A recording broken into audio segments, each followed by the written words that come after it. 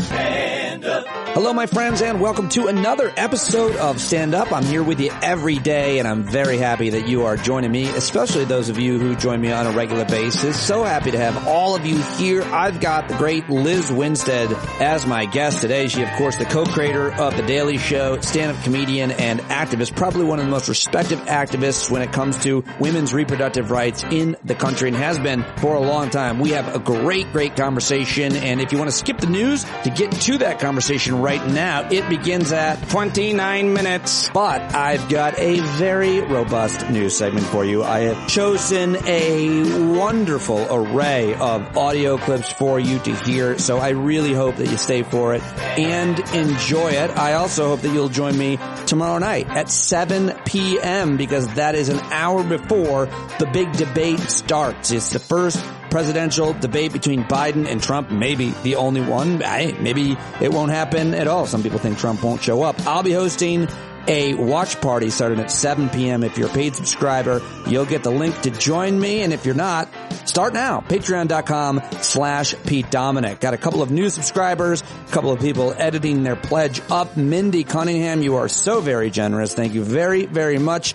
You have been so supportive to me, as have so many of you, and I am eternally grateful. All right, so we got the hangout on Thursday night. I'm on my way to West Virginia, Shepherdstown, to the federal government Fish and Wildlife National Conservation Training Center to be a part of NYCALC. I think this will be almost 10 times that I've gone to the Native Youth Climate Adaptation Leadership Congress, and it's a really exciting opportunity for me to be able to communicate with them, tell their stories, and uh, I'm really looking forward to talking to these young tribal folks, native high school and college age youth. And it's a very, very good conservation leadership training, and I'm psyched to be involved and to be talking to them. I'll be doing that. And then I'm not sure about Thursday's show, if it will be delivered to you on time or not. It all depends on how busy I get at the conference, whether I can turn it around. So be patient with me on that. But now it's time to get to the news. Your headlines. I scan dozens of news websites, social media websites, corporate sites, independent content creators for you all day. And I come up with the stories that I think are the most impactful to the most people. And then I, I read them uh, here. I gather them and I make notes and I read them to you each and every day. So let's get to it. Yesterday, Let's see. Yesterday in Nairobi, Kenya is where we will start. Part of Kenya's parliament building was on fire as thousands of protesters against protesters against a new finance bill entered and legislators fled in the most direct assault on the government in decades. Journalists saw at least three bodies outside the complex where police had opened fire. So uh, chaos in Kenya over that Uh, new law. They don't like the tax bill. I don't know anything about it. I shouldn't say anything more about it. And now let's go to the Donald Trump's gag order in the hush money case. Judge Juan Merchan has tweaked the gag order, lifting restrictions on Trump's ability to comment on the witnesses who testified against him during this trial, as well as part of the order barring him from discussing the jury that convicted him. The ruling left in place a part of the order barring Trump from going after court staff, individual prosecutors, and family members of any counsel, staff member, the court, or the district attorney. I'm not sure why exactly, but that is news from yesterday. So I shared it with you. Now, more than 500 people have been charged with federal crimes under the gun safety law that President Biden signed. That's right. This is a good thing. Some linked to transnational cartels and organized crime rings have been charged with gun trafficking and other crimes under the landmark gun safety legislation that President Joe Biden signed two years ago this Tuesday. That is a good thing. Let's be happy about it. And speaking of the White House, a report obtained by the Associated Press on the implementation of the Bipartisan Safer Communities Act also said the enhanced background checks under the new law have stopped roughly 800 sales of firearms to people under the age of 21 who would be prohibited from buying them. It highlights that 14 states are using or planning to use funding from the legislation to make better use of red flag laws, which allow law enforcement to remove weapons from people in crisis but are often underused or not well understood. And the report lays out how $85 million in funding has been awarded to 125 school districts across 18 states to help identify students who need mental health care and can help access them. That is action, folks. That is really important. And it's not the kind of story that gets reported and celebrated enough. Well, a federal judge on Monday temporarily barred the education department from allowing additional loan forgiveness under a key component of President Joe Biden's student debt relief plan. See, he's not a dictator. He tries to make these things happen through executive order. He's passed far less executive orders than the predecessor, the disgraced former president. But this judge has ordered, halted the cancellation of federal student loans under the income driven repayment plan known as SAVE after several states sued over the program. So important to uh, take a look at that story if you're affected by it. And this is big. In a landmark an- announcement yesterday, the U.S. Surgeon General Vivek Murthy declared firearm violence a public health crisis in the nation. He warned the advisory in an advisory that the gun violence poses a serious threat to the health and well-being of our country. And that's not just a serious physical toll, but a mental one as well. And I've got audio of him coming up. He was on MSNBC. I'll share some of that. Moving on.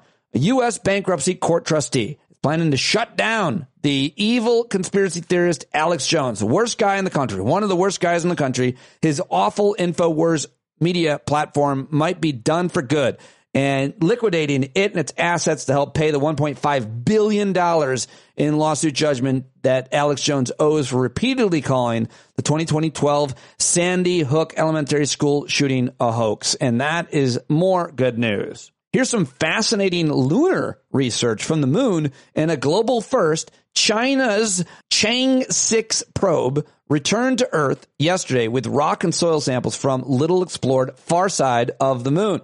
While past U.S. and Soviet missions have collected samples from the moon's near side, the Chinese mission was the first to collect samples from the far side. So it'll be interesting to see what happens there and what they found.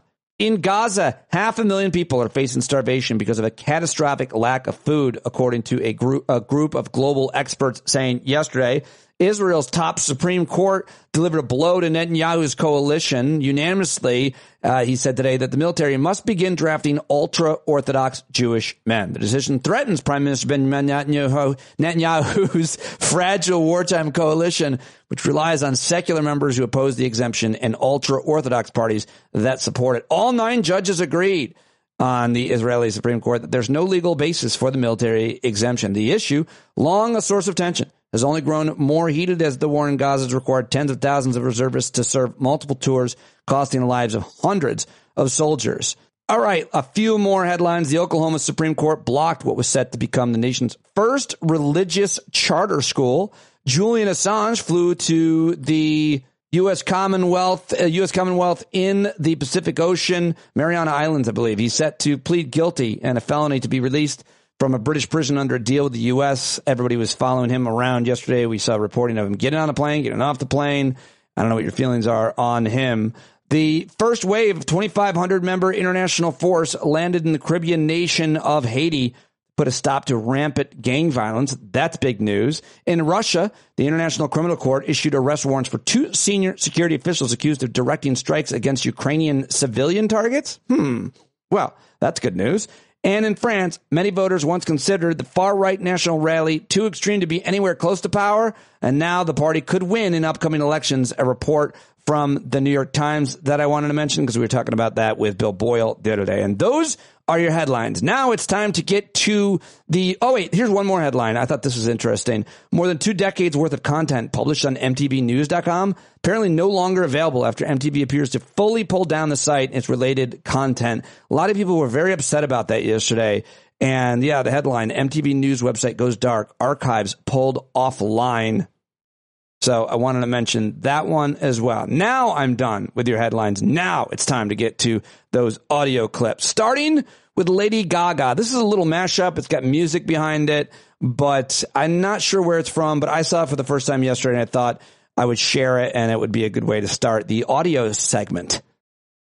And to all the women and all the men with daughters and sisters and mothers Everybody, no matter how you identify, now is your chance to vote against Donald Trump, a man who believes his fame gives him the right to grab one of your daughters or sisters or mothers or wives by any part of their bodies.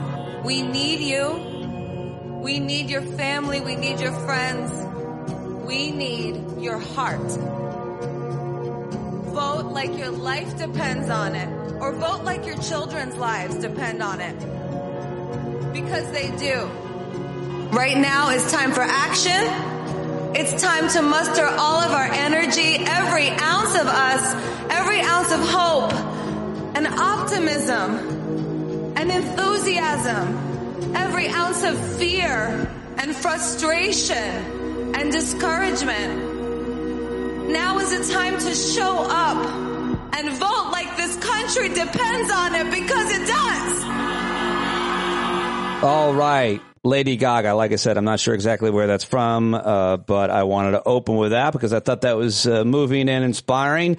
Now let's head over to CNN where Boris Sanchez had the Biden campaign spokeswoman Adrienne Elrod on. He asked her uh, about these requests or demands that President Biden take a drug test before tomorrow night's debate. One last question, Adrienne. President, uh, former President Trump asking President Biden for a drug test going into Thursday night. What's your reaction? I mean, I don't even really know what to say about that. I worked on Hillary Clinton's campaign. You know, she also debated him very effectively. He accused her of being on drugs. Uh, uh, President Biden defeated Donald Trump twice in, in previous debates. This is what he does because he doesn't have anything else to run on. He doesn't have a plan. He doesn't have a record uh, for fighting for the American people. He doesn't know why he's running except for to seek political retribution on his enemies. And so he has to resort to these types of tactics, which are frankly just silly, turns off a lot of voters, especially voters who want to see their president fight for them. Adrienne Elrod, we have to leave the conversation there. Appreciate the perspective. Thanks Thank for being you. with us. All right, there you go. So that's what she thinks uh, about that. We'll see if, if that narrative can, keeps up, continues. Who is Trump going to invite? Oh no, there is no audience. It's going to say who is he going to invite in the audience to distract distract President Biden? What's he going to do? I'm, it's going to be fascinating and terrifying at the same time. They're covering it all over the world. I think I'm going to be on Australia News to talk about it as well. Now let's go to, I thought this was interesting, uh, over at the MeidasTouch.com. They had a, a, guy who voted for Donald Trump twice named Kyle Sweetser on, and he is no longer a supporter apparently. Hard to believe he ever was with this analysis, but still. The longer you stare at Trump and his record, the worse it gets. So, you know, Trump's cozying up to, to foreign, uh, basically adversaries. He's, uh, oddly enough, some people don't like me saying this, but he's less conservative than, than Biden on fiscal responsibility. He added eight trillion to the debt, uh, even with without COVID. Uh, he's not fiscally responsible. He gave people a license to to act bad out in out in the open, and I think that the MAGA movement just needs to be destroyed. And I think any rational person that starts listening to Trump instead of d- directly instead of having someone else regurgitate what Trump says. I think if you listen to Trump and then you listen to Biden uh, speak, it's night and day. There's no comparison. Uh, Trump is unhinged and he's just not fit to lead. Certainly not fit to be uh, the president of the United States. Wow, pretty convincing. I wonder if anybody will be turned by him, if he's turned anybody, or if he really did vote for Donald Trump twice. What do you think? All right, now let's go back to CNN. It's Abby Phillips talking with activist and actress Ashley Judd, who I think is very poignant, articulate, and inspiring here, talking about women's reproductive rights and the threats, the continued threats posed by a possible reelection of Donald Trump and the, the rest of the cartoon villains he would support to the high court already filled with ayatollahs. We have a debate coming uh, on Thursday. It's a big debate. It'll be right here on CNN. Um, how do you think this is going to play in that debate? How big of a showcase do you think it will be or should be, especially for President Biden uh, going into that contest with uh, Donald Trump? Look, it's really clear that the only candidates running for president who support girls and women's right to plan and space the births of their children and to terminate a pregnancy if that's what they need to do, it's the Biden Harris ticket. You know, President Trump has said that watching us die from you know, lack of access to abortion care because he vowed to, you know, appoint Supreme Court justices who would overturn a constitutional abortion has been, quote, a beautiful thing to watch. That's really clear. And what I want to emphasize is that abortion care is really about stories and it's about us. And even though I'm absolutely voting for Biden Harris, I am campaigning for them. They are the path forward for American democracy. 87% of media articles that were reviewed never quote a doctor when talking about abortion. 92% don't even include a woman who's had an abortion. This is needs to be taken out of the realm of politics and put where it belongs, which is in the lives of women. All right, there you go, Ashley Judd. Well done. Uh, let's head back to, well, stay with CNN. It's Anderson Cooper talking to Maggie Haberman. I don't really think it's worth a, really speculating too much. I've asked one question to a few guests about what they think is going to happen at the debate, but I will take two minutes to hear from Maggie Haberman because she knows very well. She lives in Trump's head and has great sources. And I thought this analysis was pretty good. I saw it. I liked it. I'm sharing it with you. He has no shame and he makes stuff up but it's very inconsistent. I mean, it's one moment it's he's a worthy debater, and then it's he's going to be doing massive amounts of cocaine. Yeah, it's it's a microcosm of the Donald Trump uh, and his team that we have seen over nine years now, which is his team wants him to do one thing, he does something else, and he sometimes can stick to the script, but then he goes off of it, which is why predictions of how he is going to actually be in this debate are probably not worth very much. Right. We know that he has been preparing for this debate in, in the way he does with sort of policy sessions as opposed to classic, you know, behind the podium matches. Um, but whether he is going to absorb what he's learning there and whether he is going to come in, you know, interrupting President Biden less than he did in 2020 in their first debate, it is an open question because he does what he wants to do. I, want, I just want to play something else he said at the rally over the weekend. How should I handle him? Should I be tough and nasty? Or should I be, should I be, she say no, should I be tough and nasty and just say you're the worst president in history? Or should I be nice and calm and let him speak? I mean, do you think, does he sort of change in the moment just riffing how he feels in the moment, or is it something he kind of thinks of as he's going to bed that night and, and just thinks in his head, doesn't tell anybody else? I think, some, some, I think sometimes he plays around with these things on his own. I think sometimes, as you see, he poll tests it because he thinks it's going to please whatever crowd he's in front of. Whatever's on his mind is often what he does with these crowds, and it, it could be anything. It could be, you know, he's been poll testing everyone about VP at various fundraisers, and this is along the same lines. I was thinking, though, as he was saying that, I think he will be both. I think he will likely interrupt less because I think that's the lesson, main lesson he took from the last debate or their first debate in 2020. And I think he will be very mean toward Biden. I, I will be very surprised if he's anything other than that.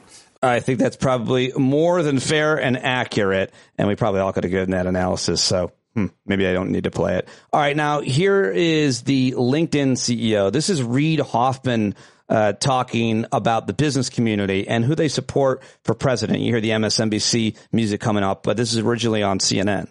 If the only things about being pro-business were regulation and taxes, then you go, okay, great. It's, it's whoever goes lower regulation, lower taxes. The rule of law is what has made America very special. Um, it has made an environment for business that has been spectacular, a, a glowing beacon to the entire world. It's the trust that other countries have in us and our system and how we interact, which allows our industries to export and allows the dollar to be the reserve world currency of the world. And that's the reason why Biden is fundamentally, no matter what, more pro business than Trump.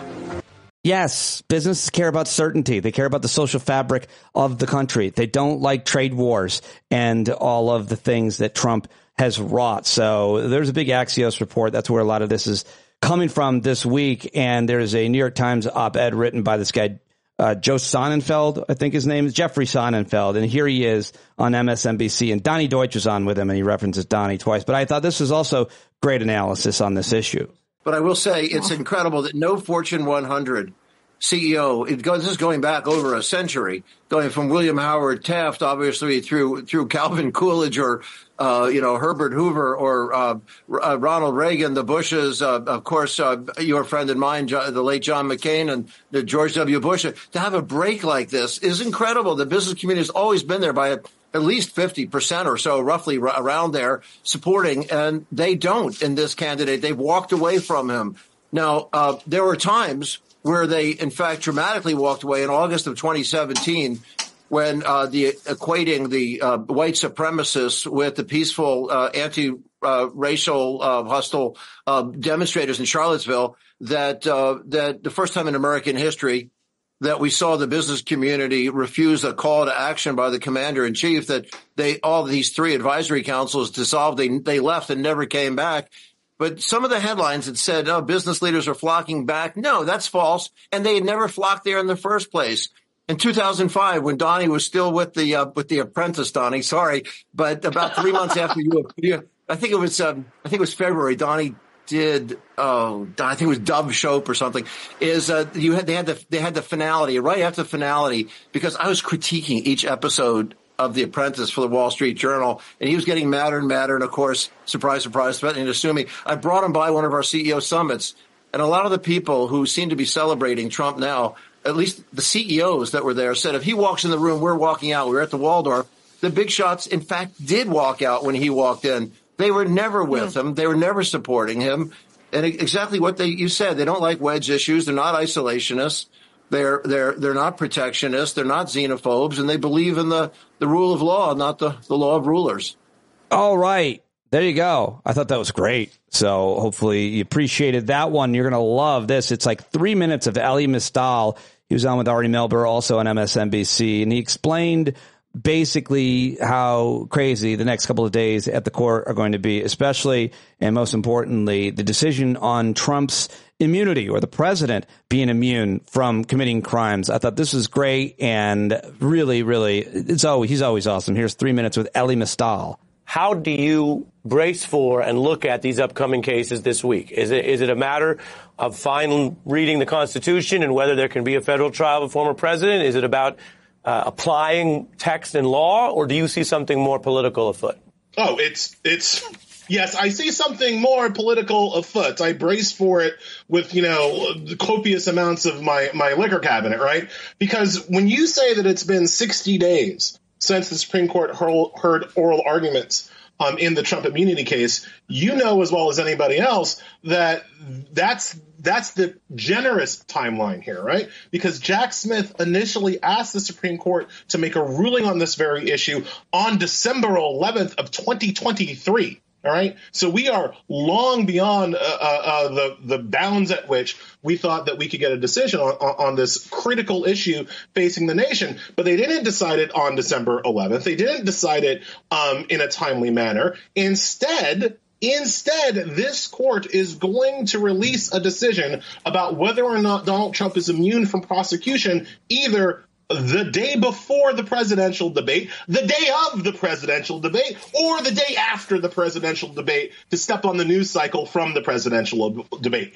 You can't get more political than that. It's not like the court doesn't understand how a calendar works which is why I believe Trump has already won. Again, when I say we're just waiting for the shouting, Trump has already accomplished what he set out to accomplish with this ridiculous immunity argument. The, the what he was trying to do hmm. was delay his trial until after the election, and now, no matter what the Supreme Court says on Wednesday or Thursday or Friday, that trial is now effectively delayed until after the election. They could completely reject his immunity claims. I don't think they are. They could completely reject them, though, and his trial will still be delayed until after the election. I still think the leader in the clubhouse is that they will remand the case back to the uh, back to the trial court, saying that Trump is immune from some actions but not all actions, and who can know what actions they are? It's actually going to go through an entire another hearing that has to be appealed to the D.C. Circuit and then appealed again um, to the Supreme Court, and maybe sometime this time next year, if Trump loses, we will get a decision that will allow a trial against Donald Trump for his actions on January 6th to take place. But that requires Trump losing at the ballot again. He has already won his key uh, his key point, which was to be allowed to run for reelection before facing criminal charges for January 6th. All right. He's always on fire. So good, Elie Mystal. And it's scary what's going to happen in the next 48 hours. But I'll be here with you to talk it all through at the Hangout, as well as with Eric Siegel and others over the weekend.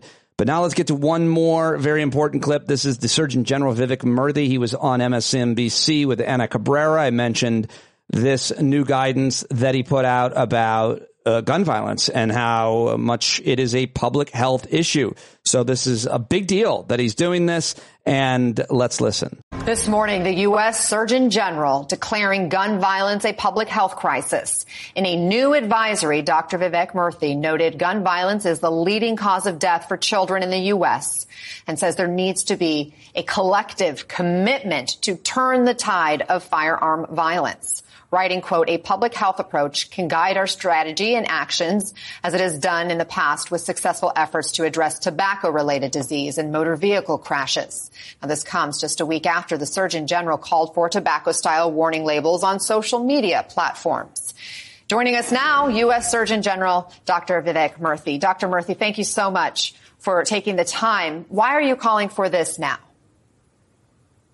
Well, I, gun violence has become a public health crisis in America, and it's one that's having far-reaching consequences for millions of Americans. The highest price that we pay for gun violence are the lives that we lose, nearly 50,000 a year. But we also know that for every one person who loses their life, there are two who are injured to gun violence. There are others who witness these incidents, family members who lose a loved one. Uh, there are millions of others who listen and hear about gun violence each and every day. That has led to a collective trauma in our country where now six out of ten people are worried about losing a loved one to gun violence. More than half of our kids are worried about a shooting in school. But perhaps most importantly, and I, this is really important to me as a parent, gun violence has now become the leading cause of death among children and teens. That was not true a decade ago. It was not true two decades ago. It is true today. So gun violence has become a kids issue. It has become a source of trauma to the bodies and minds of millions of Americans. But it is a public health issue that merits a public health approach. And we've taken public health approaches to challenges like tobacco, car accident related deaths over the years. And we've been able to reduce the toll of those public health challenges. We can do the same thing here with gun violence, and it's urgent that we do so. All right. A lot of scary headlines, a lot of scary clips. Let's get to some comedy. Shall we? So Jimmy Kimmel is off. He's got sub hosts, which I love. And how about this? Marty Short, Martin Short in the chair. And here is a little bit from his monologue. And I thought it was hilarious. It's Martin Short in for Jimmy Kimmel, Jimmy Kimmel Live on ABC. Make us laugh, boss. Donald Trump says he's close to announcing his running mate and has reportedly narrowed it down to three people. It was four, but OJ died, so.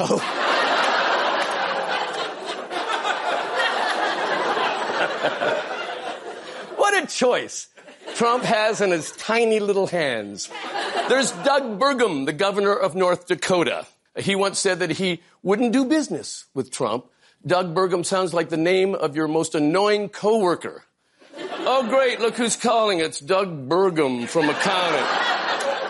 Then we have Senator Marco Rubio from Florida. He called Trump a con artist, or should we go to doormat number three? Ohio Senator J.D. Vance, who said he thought Trump was either a cynical like Nixon or America's Hitler. When have you ever said something like that about someone and then changed your mind? now, even though Trump knows who he's going to choose, he hasn't informed the winner yet.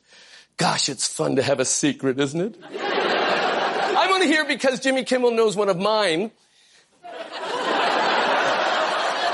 Involving a hitchhiker on the 101 in 1982. Trump is also gearing up for the big debate Thursday. Uh, he's trying to manage expectations with claims that Joe Biden will be on drugs. So a little before debate time, he gets a shot in the ass, and that's. They want to strengthen him up. So he comes out. He'll come out. I okay. I say he'll come out all jacked up, right? All jacked up. Yes, all, all jacked up on extra strength Metamucil. Uh,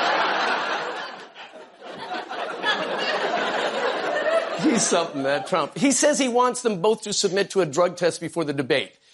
Do you have any idea how long it takes to get a urine sample from men who are close to 80?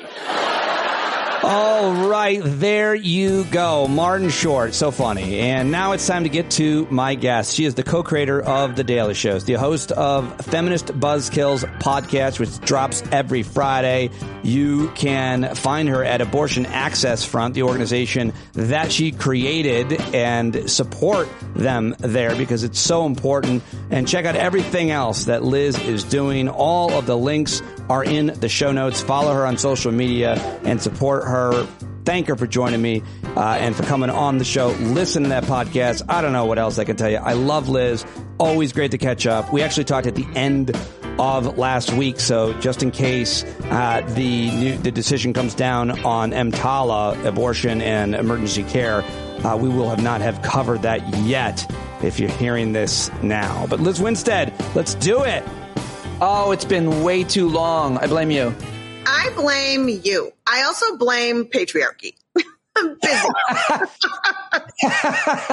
I uh, blame patriarchy as well. I'm so happy to see you. My as soon as you popped up on my screen, my heart filled with joy and excitement just to see you because you're such a, an amazing human being, doing amazing human beings for your whole life. How are you doing?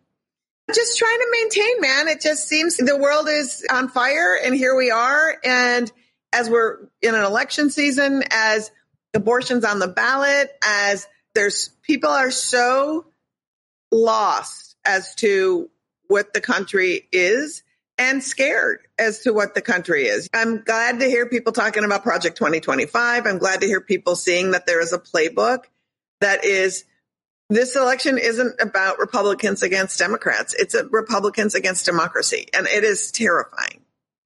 Did you think we would be here five years ago, 10 years ago? I knew that as people who had never had rights before uh, were forcing themselves to be at the table and demanding to expand access to all of us to just be part of the conversation and part of the decision making, that there would be blowback because when you have a system in place where you've created a power structure that is almost impossible to challenge, a lot of mediocre people are making decisions. And so when smart folks who never had a seat at that table are able to call them out, there's going to be reaction when you try to take someone's power away. That's scary. But I always thought it was, I didn't, I guess I didn't understand the profundity of what it means to retain power because women have had so little of it that I don't think I could have woken up every day knowing that the goal was literally to, just in speaking for abortion, because there's so much to speak of, yeah. turn us into chattel culture and vessels with which to procreate. And it really, I don't say that like hyperbolically. It's what it is. And I, I don't think I could have done this fight had I known that what little value mm. was placed on who we are. Are you losing energy or enthusiasm for the fight as a result? I'm not because I feel like every inch of the activism, when you bring people information, people act on it. Like, for example, us being on tour for next year will be our 10th anniversary of me running Abortion Access Front and us being on the ground and doing the work and helping grow these community activist spaces has helped those people mobilize to get ballot initiatives going, right? So when I see that, I'm excited. Yeah. What scares me is the there's a lot of people who when they get the information, they still don't do anything about it. And that feels frightening. And also what scares me too is that when we're just talking about abortion, for the past 50 years, Democrats haven't really known how to talk about abortion, and now they've gone away from it or taken talking points or thought they needed to be on the defensive. There was a lot of unlearning that needed to happen because I don't think a lot of us ever actually formulated our own thoughts around what reproductive rights and health and abortion mean. I think that we thought that it was, you know, we were literally the people for it, couching it in this sort of necessary evil language and stuff like that.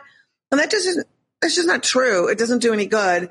And so now that abortion is literally on the ballot and the most popular thing on the ballot, more popular than any politician, I, my hope is that Democrats will talk to us, the activists who have actually changed hearts and minds by being on the ground, instead of talking to each other in this class of chattering class of what do political consultants think? I don't care what you think. You have not helped. So talk to us. We can help you actually message accordingly. So I want to know who's talking to you and what you're telling them. But the we were talking a couple days here before the anniversary of Dobbs' decision that overturned Roe v. Wade, and it's not a celebration anniversary. You're not having any parties for Uh, it. No. But I do want to ask you, as a result, in the last year, what have you? What have we lost? What have women lost? What have women in some states lost more than others? And and finally, my my kind of sarcastic, cynical take is that in the states where uh, some states we've actually increased access to women's reproductive rights and covered it more with insurance and so on. In our states, in these kind of more liberal blue states or communities, we're far less worried uh, about it, it would seem. We're so much concerned about the thing right in front of us, no matter what our politics are. When it comes to abortion, I'm worried that we're not we're not concerned about it in the states where we feel like we still have access to all of it. So what have you seen change in the difference between the states and where you live? So I think a couple of things. First off, I want people to be clear that we got here under Roe v. Wade. So when you hear we need to restore Roe or we need to codify Roe, that's not enough.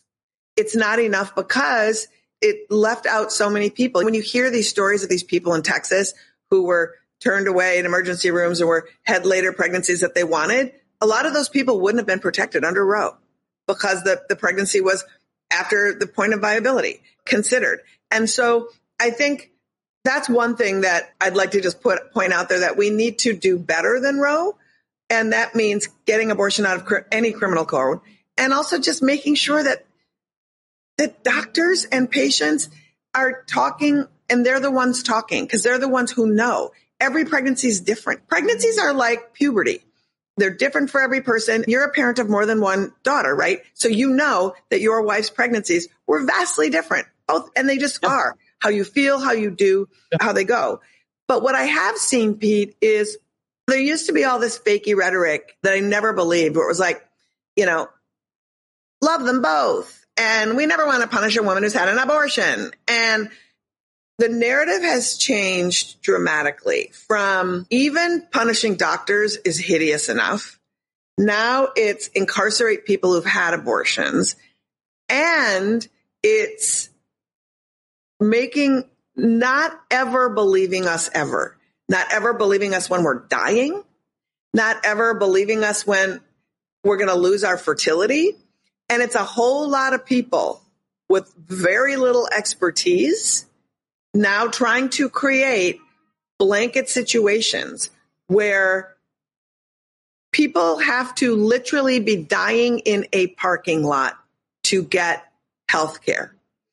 And for the states who have And that's not healthcare, that's emergency care. Yeah. You don't get a pap smear in the parking lot. You don't get all kinds of preventative care checkups. If you're dying in the parking lot, it's because you didn't have health insurance, most likely, or access, right? It's that no, it's that doctors turned you away because the laws have said they will throw you in jail. You have to, in many states, as a physician, either get permission ahead of time from a board of non doctors and present to them evidence that this person is dying, or you have to, or after the fact, you have to defend your decision. So doctors are terrified to give people care. So they're sending people away, right. sending them in parking lots and literally until your vital organs start failing. And that is not just Texas. It is Missouri. It is Tennessee. It's Idaho. It's Oklahoma. I could go on, but I won't. So that's where we're at. And as you and I speak today, I have chewed my fingers to the bone waiting for the second Supreme Court case that's coming down the pike that a lot of people don't know about, which is there's a federal law. It's the Emergency Medical Treatment Act that was under, it came under Reagan that's, that basically call it said, EMTALA. EMTALA. Yeah. EMTALA is the acronym. And what it basically said was you can't dump patients out on the street if they don't have insurance. You have to stabilize anybody who comes into your, your emergency room. You have to give them stabilizing care. The state of Idaho says we have a total abortion ban and we don't, we think that, we think we're in compliance with EMTALA by saying that our law that only protects the patient is dying is in compliance with EMTALA, which it's not. And so it's pretty fascinating how they tried to make the case that since abortion wasn't listed, that they didn't mean that abortion should be a procedure covered. And it's who would write a law that would cover every procedure? You would write a law if you didn't want abortion in, you would specifically exclude it because that's a shorter list. Well, I, I went to the emergency room last week uh, because my penis was bothering me. They got me right in. Yeah, turns out. There's a law that will, this is a case that will determine whether federal law protects pregnant people's right to emergency care. Also, the, whether or not, and in, in the history of this country, federal law trumps state law. That has been the history of this country. And so if the Supreme Court rules, and a lot of the questions they were asking is, does fed, do federal conscience clause laws trump EMTALA? And they do. The, uh, the arguments the, yeah, and the physician and the woman Elizabeth Prelogar, who is the Solicitor General, is a brilliant attorney. She also argued the mifepristone case, and she said always, a physician, we emergency rooms know in advance the physicians who have conscience clauses and make sure someone else is there to do that. No physician is ever forced to perform an abortion if they don't want to. So the real question is, and even Amy Coney Barrett and all of the other justices were like, it seems like you said that this is fine, but then there's a list of things that you said you would have to get a permission from some state body to weigh in and that you actually aren't concerned about protecting the reproductive care or the organs of a person that you could reduce them to literally a hollow shell of flesh as long as they're alive and so, you save the fetus.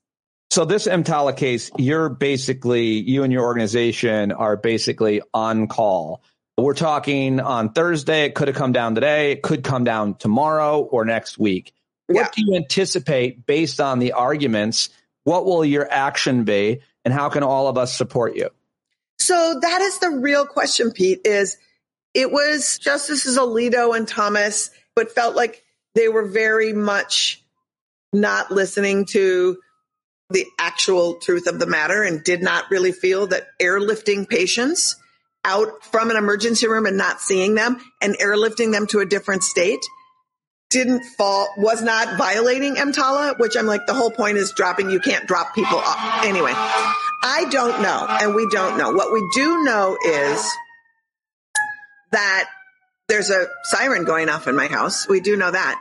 But what we do know is that if they rule that state law can supersede federal law, that we have a, a new set of rules that coming down the pike of protections. What it says is that's it's really one of the only avenues we have on a federal level right now that can help protect abortion access in these extreme cases where people end up in the emergency room and that's it. So it what we will work on if they rule in our favor, it's good. We move forward, right? It's, we have to expand access. Like we cannot have bureaucracy standing in the way of pregnancy. If they say bureaucracy gets to stand in the way, it should be a wake up call to everyone, the Democratic Party and activists to say, this is why states' rights don't work. This is why abortion needs to be something that is an unquestionable civil right and human right in the United States of America. And how do we do that? Expand the court, I guess. That'll be a lot harder than winning in November. And the issue in, and only could happen if Joe Biden wins in, in November. Yeah. And probably still won't happen, but yeah. it's the only you know, choice. But with this court, I don't know what to say. I just well, let me ask you uh, just quickly about this court. What do you want to say about Samuel Alito? I, have been surprised to see that you actually like and respect the man, Lizz. What am I missing? Oh yeah, I love him. You know, and he's been really excellent. I heard you just you like him. He's good at cooking, and, and you see his best qualities. Yeah. I would like to fly my prolapsed uterus over his house. you want to take your prolapsed uterus and put it on his flagpole? Is that what I mean? Just fly it upside down so he can understand. Um, Oh, like he would I- I'm know not sure. Even, I'm not even sure what that means. Like But, he would um, know, or anybody, that it was upside down. That uterus is upside down. Or what is that? What is that? What letter? What Greek letter is that? I am unclear, like most of them. Uh, it really does feel at this point.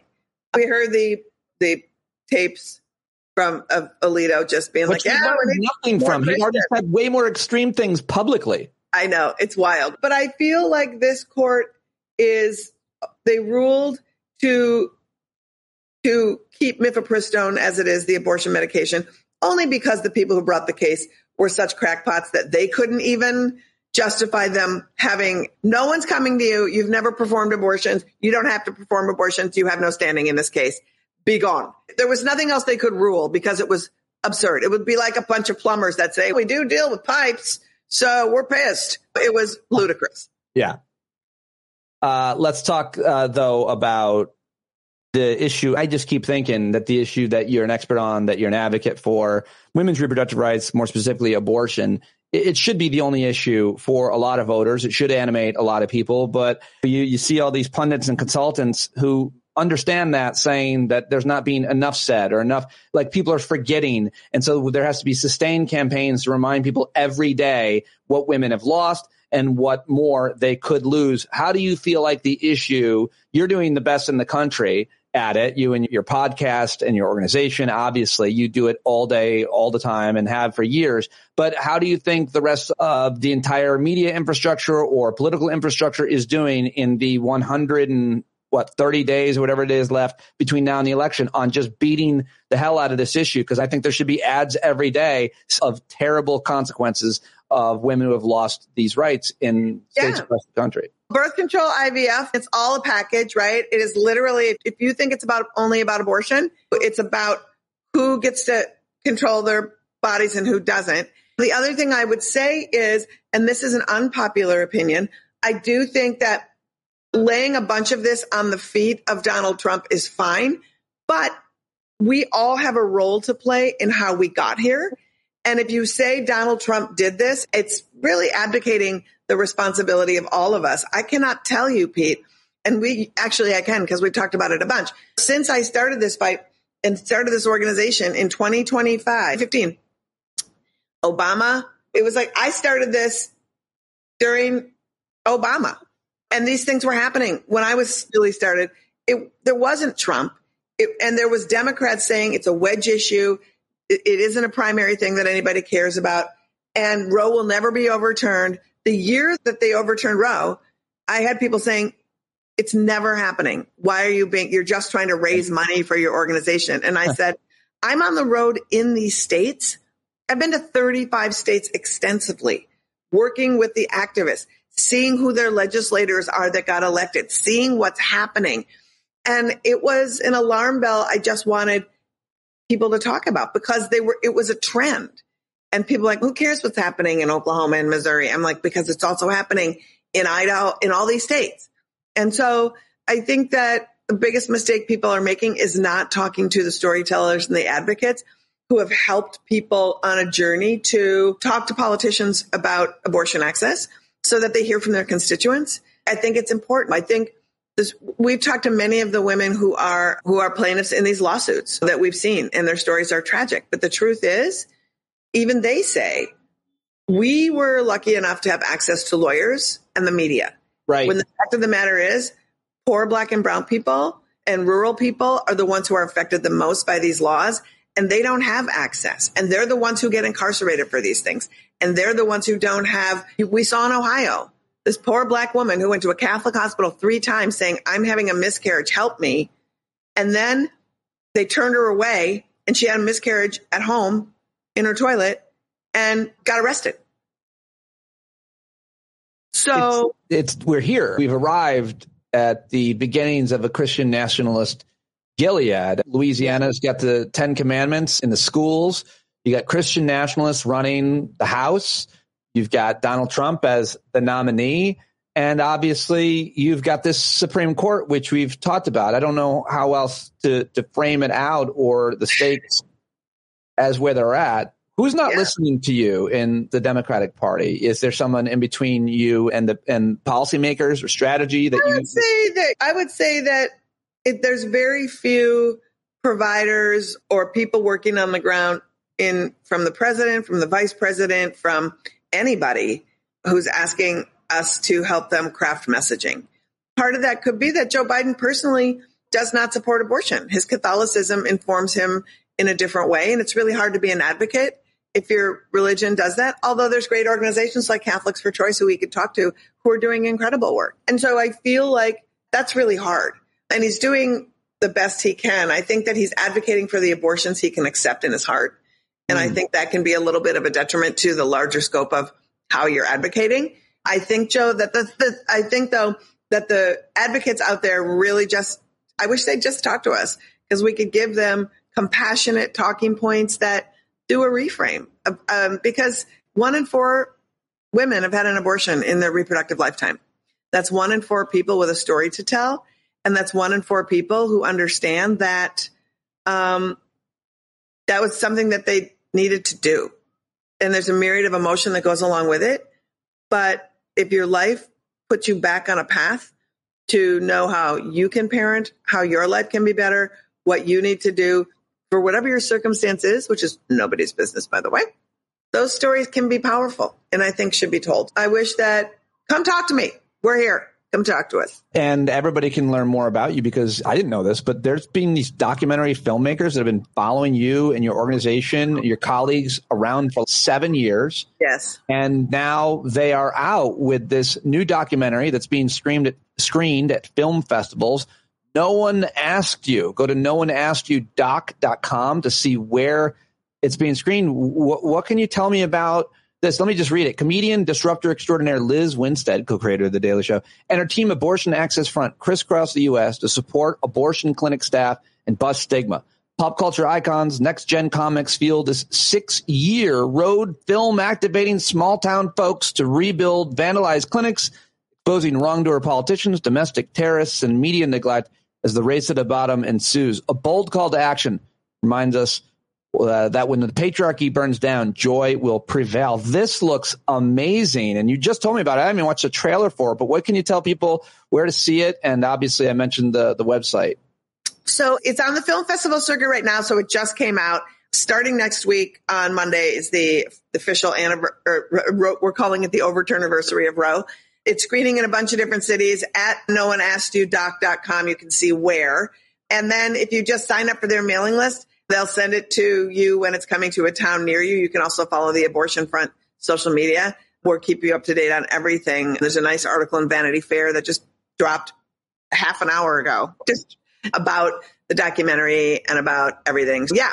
So it's pretty awesome. So check that out and check out our work. If you're feeling like, what do I do, Lizz? How can I help? Go to aafront.org and hit join us and we'll put you to work. We can, cause it's, we just feel like marching is the first step. A, um, if you want to create a movement, then and you have some skills, but you don't know how to apply them, we'll help you do that. There you go, Lizz. You are the very best. I'm so glad I got to talk to you today, and I Me promise too. you it won't be long before we do it again. Thank you I so much. It. Thanks, Ann.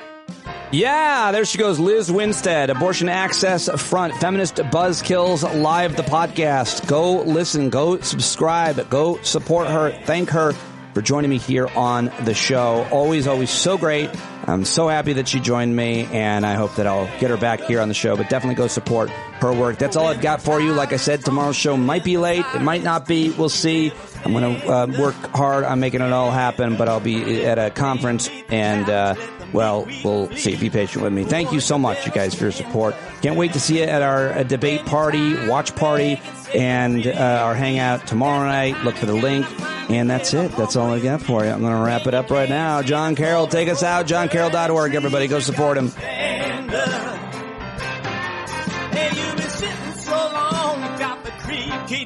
you gotta stand up. Stand up. I think driving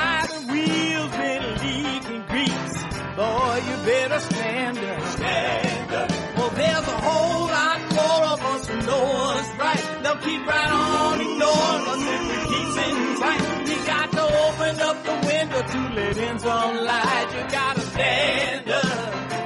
That's right.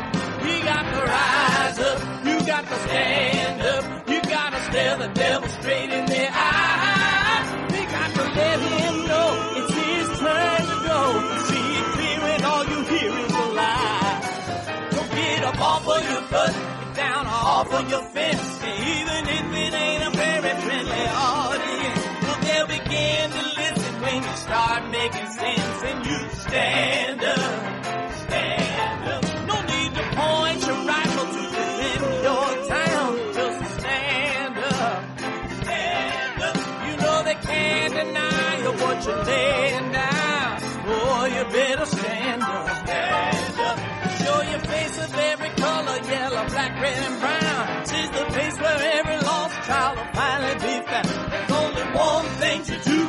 stand our ground, and then stand up,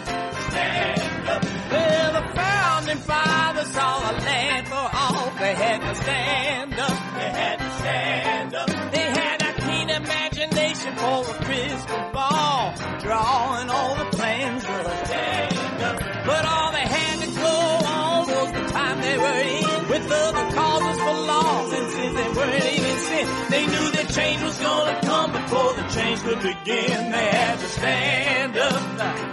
Alright, they had to stand up. We got to stand up. We got to look the devil square in the eye.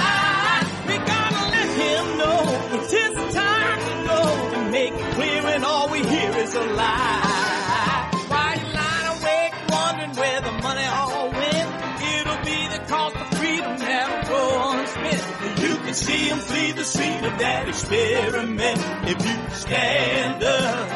stand Alright, we got to speak up, we got to reach up and raise your voice in every way you know how. Don't be toes up, you got to show up. Ain't no better time to do it but now. No need to pledge allegiance to no wanton tribe. Up, show obedience to the voice inside. And listen well and it'll tell you not to run and hide. It says stand up. Stand oh, got to stand up. Ooh, come on, just stand up.